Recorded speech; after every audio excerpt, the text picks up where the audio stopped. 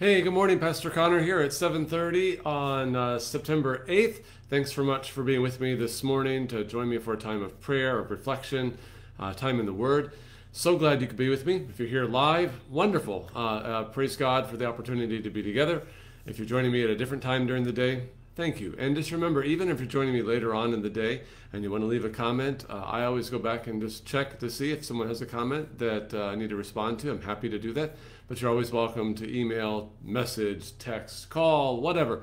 Uh, anytime, uh, you're all welcome to participate in whatever means works for you. So, okay, today, what I want to do is spend a little bit of time in uh, Psalm 13. I'll get there in just a minute. And then my plan for the rest of the week, and we brought this up at some point last week, I can't remember exactly what day it was we talked about the emotion of anger just briefly, I made reference to it. It wasn't our focus for last week, we just made reference to it. But I think it's such an important conversation to have. What do we do with anger? What does the Bible teach on anger? Um, um, that my plan is to spend, uh, if, I, if it all goes well, at least the next two days, maybe the next three, exploring uh, uh, what Scripture teaches on this because uh, there's some pretty surprising things in there and some pretty wise counsel, obviously, in Scripture regarding how we deal with anger. And we'll get to that later on in the week. So, Psalm 13, I want to start just by reading the psalm. It's a very short psalm, but it's a powerful psalm. Now, it's a psalm of lament. We've talked about lament before, or the longer word lamentation. You have a whole book of the Bible called Lamentations. A lament is an expression of deep sorrow or grief or loss or pain or frustration or, or, something. Let's put it this way it's recognition of some aspect of something being not right. There's a not rightness to your life, to this world, uh, and uh, pretty much all things in creation, there's a sense of not rightness to it and that comes from the reality of the fall, right? So uh, when we talk about the not rightness in our life, and we're expressing sorrow or grief or frustration over it, we are lamenting.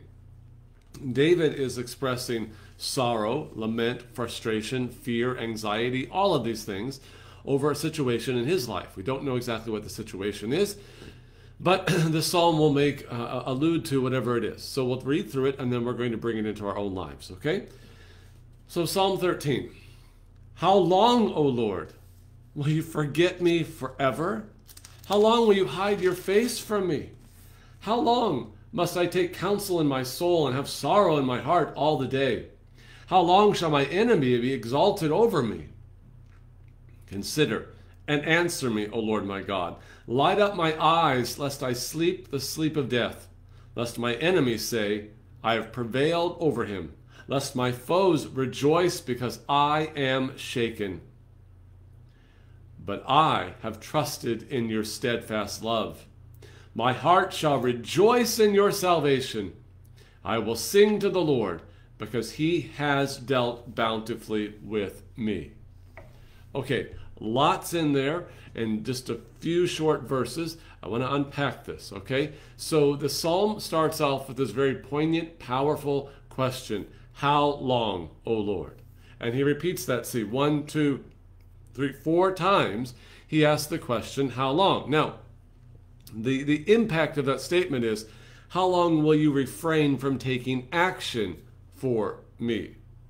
Now, that's a pretty powerful uh, uh, question, right? And what I love about Scripture here is it gives you the permission to ask God the same questions. Now, it's going to take us somewhere here in a minute with those questions.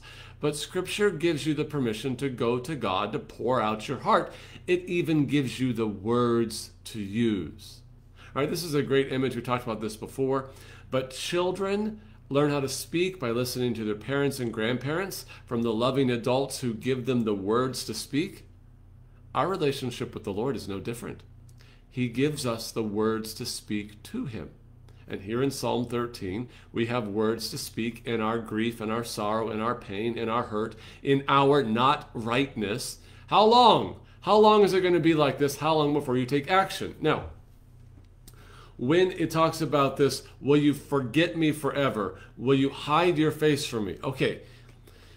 In the Old Testament especially, but all scripture, when it talks about God remembering, like God says, I have remembered my covenant, or I have seen uh, the plight of my people, remembering and seeing, when the Old Testament talks about remembering and seeing, and even the New Testament, that, that these were not talking about states of consciousness, that God just, oh yeah, I remembered because I forgot something, or oh, I just happened to look away and now I see it again.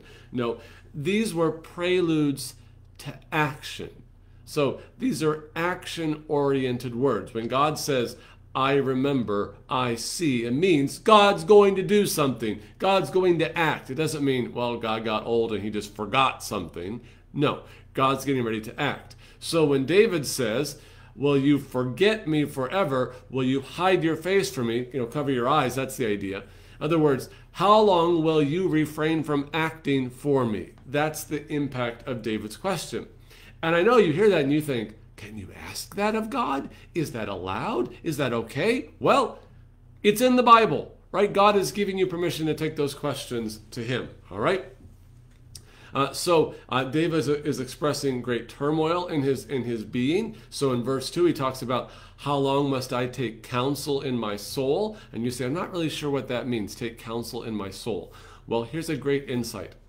So often in Hebrew poetry, and you know it's poetry based upon the way it's it's formatted in your Bible. It's always formatted in, in a poetic stanza sort of setting instead of the prose, uh, the straight up narrative is just you know um, margin to margin, and it's a solid text. But this is poetry, and Hebrew poetry functions in terms of parallelisms statement, restatement, statement, contrast, statement, complement. Well, here you have how long must I take counsel in my soul and have sorrow in my heart all the day? Sorrow in my heart builds upon counsel in my soul. So, whatever counsel in my soul means, it has a similar meaning of sorrow in my heart.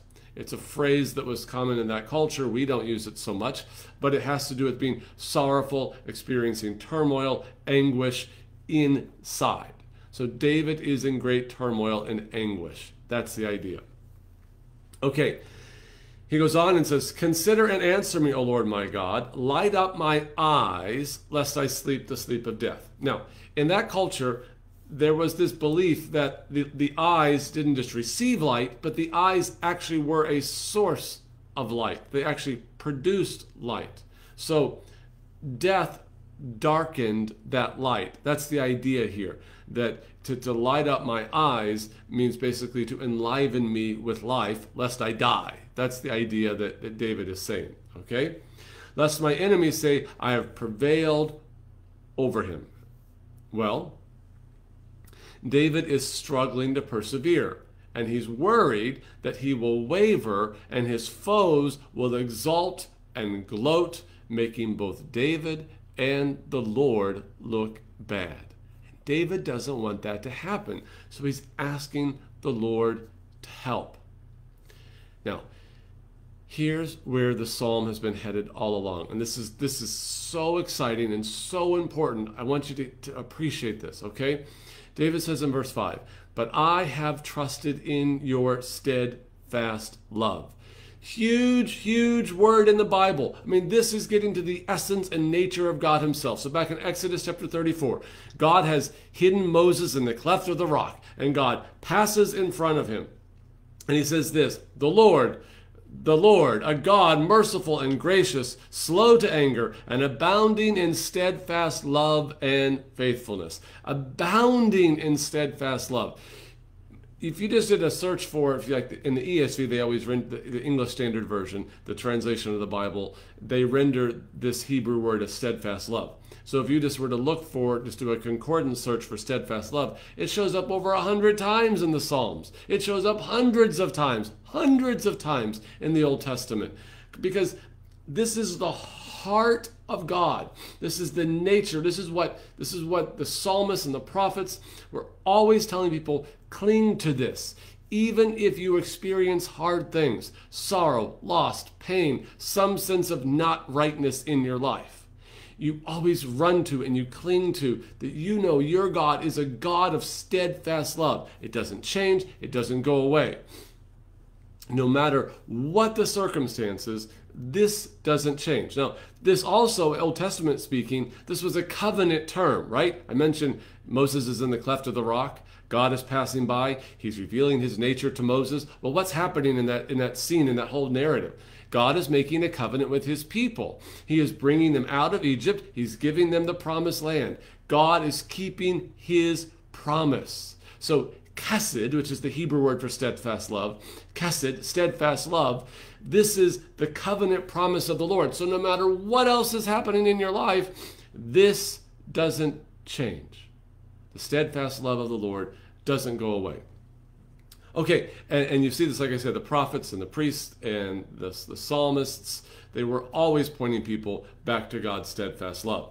So, we talked about this last week, and here's what I said last week God is a God of steadfast love, a steadfast love that we see clearly in the cross and empty tomb of Jesus.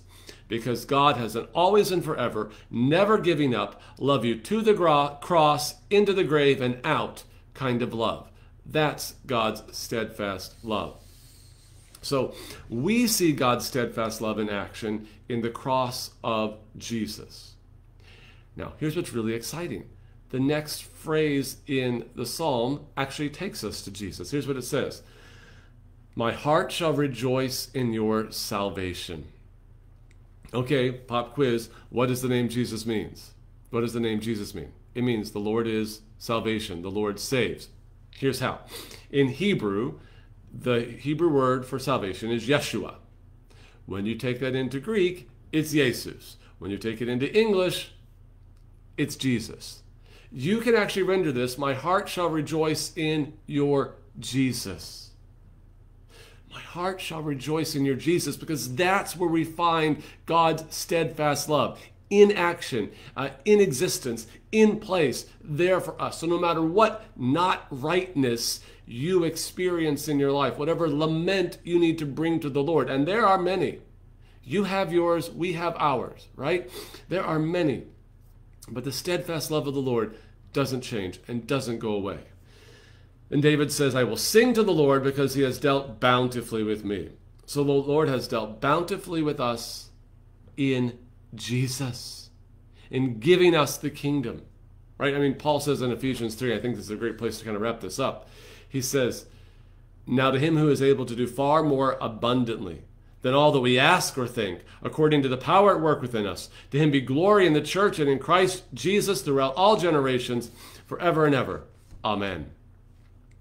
See, God deals bountifully with you in Jesus. He gives you the kingdom. He gives you salvation, forgiveness, grace, eternal life, the promise of resurrection, renewal, and reunion you with, with those you love who have died in the faith. This is all yours in Jesus.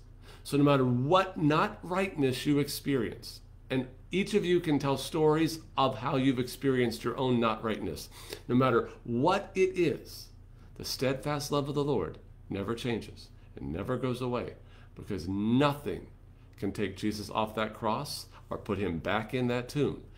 That stands for you today, tomorrow, forever. God has dealt bountifully with you in Jesus.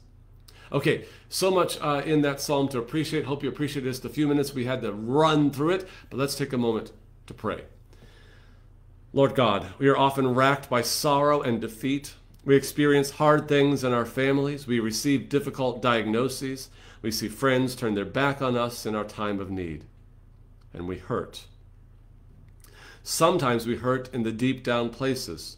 With David, we cry out, How long, O Lord? How long until you take action for us? But like David, we have trusted in your steadfast love, your steadfast love that we have seen clearly in Christ's cross and empty tomb. So, despite our hurt, despite our pain, our hearts rejoice in your salvation. Our hearts rejoice in your Jesus in Jesus, you most surely have dealt bountifully with us, atoning for our sins, giving us grace, and assuring us of an eternal kingdom free from sin, sorrow, and death, an eternal kingdom characterized by life, joy, and righteousness. So while we hurt, we do so in faith, with eyes fixed firmly on Jesus. Because of Jesus, we know that you have not abandoned us in our time of need, and because of Jesus, we know that you will act for our ultimate and eternal good. So teach our hearts to sing, even in our grief, hurt, and sorrow. We ask that you grant our prayer for Jesus' sake. Amen. Thanks so much for taking a few minutes to be with me today. Be sure to share this with others so they can be in prayer and reflection, and I'll be back tomorrow at 7:30. Thanks.